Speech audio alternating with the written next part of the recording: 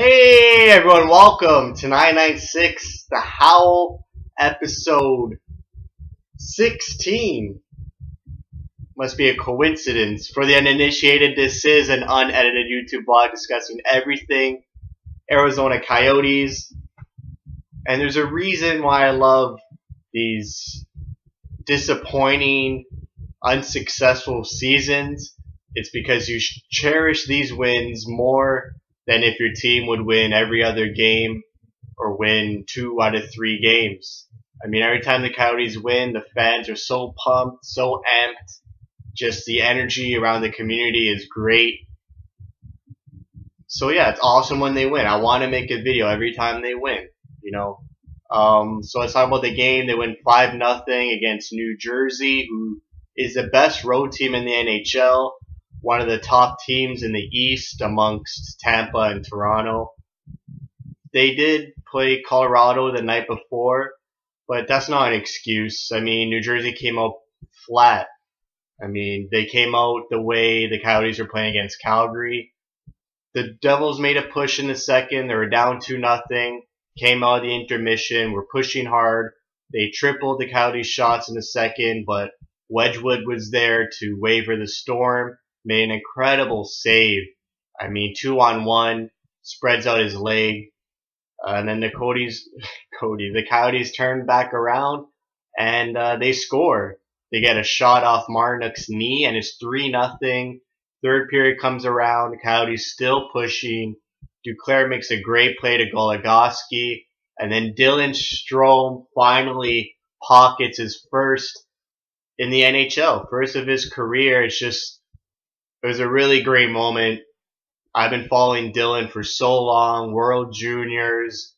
Went to see an OHL game when he was on the Erie Otters, you know, Memorial Cup run. Then he goes to Tucson and racks up the points. And it's great to see him smiling. It's great to see him produce at the NHL level. And I really hope he sticks with the lineup and continues to score. And I have to say, obviously, Tocchet does not watch my videos, obviously, but I said we need Duclair, Strome, Fischer, and Perlini in this lineup. That's never happened at all this season.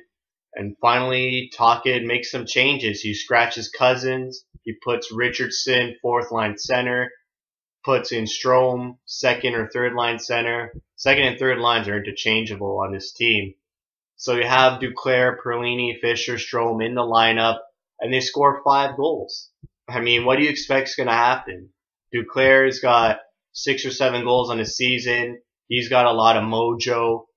And you could see tonight, Duclair was flying. Um, that play on Goligoski's goal was beautiful. Him and Domi hooked up a couple times. Couldn't uh, bury the biscuit. But you know, Domi and Duclair, who would have thought that if you put them on the same line, they do well? Uh, it's frustrating that these coaches always seem to separate them. Uh, I'm not sure what the reasoning is there, whether it's the defensive side of their game, but if you put them with Dvorak, Dvorak's very defensive minded. So in my mind, it works well. But unfortunately, other coaches don't see it that way. Stepan, another two points. Stepan's been sneaky good lately. He had a rough start the season, as well as every other Coyote, but he's racking up the points. He's uh, feeding the offense. Him and Rieder hooked up on a goal, and then um, I think he set up on the first goal. On uh, yeah, Demers' goal, he finds Demers sneaking in on the backside, and Demers rips it I think was under 20 seconds to start the game. But yeah, Stepan's been playing well. Very satisfied with him. Everyone had a pretty good game. Richardson, Martinook, obviously they played together in the Tippett era, so they have chemistry. Uh, it's nice to see Rieder get a point. Nice to see Rieder get rewarded and also play with confidence still, even though he's not scoring as much as he should be being on the top line. But he doesn't waver. He plays smart and he fits Tocchet's system really well. Defensive side of the game, good. A shutout. So obviously they played well. Chychrun may play tonight in Vegas. If that happens, that'd be that'd be such a sight to see.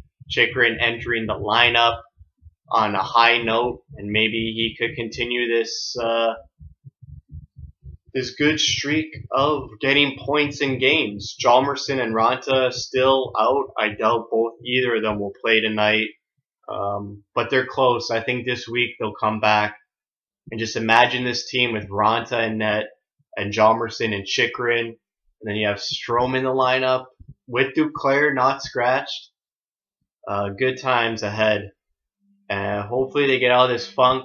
They're also not in last place in the league anymore, which is crazy. I mean, to lose 11 straight to start the season and they're not in last place. I mean, either the Coyotes are doing something good or the Buffalo Sabres are just cursed. Like it seems this team is cursed. So yeah, great win, great home crowd, so much energy. Just a really uh, solid game, solid team effort. And like I say in almost every video, let's get it going here, boys. Let's get it going. They've gotten points in a lot of games recently, and they just got to continue pushing. They're four back of Edmonton. You know, once you leapfrog that Pacific Division team, you're right there in the pack. They don't have much points in the Pacific Division. I think LA and Vegas are leading the division, but they're struggling as of late. So you could pick up some points and sneak your way into the into the pack. Now I'm not saying they're going to make the playoffs, obviously, but you know, start to leapfrog some teams and make a name for yourself, and then next year capitalize on that building, and uh, that's all you can hope for, really. That's it for me. Thank you for watching. Thank you for your support.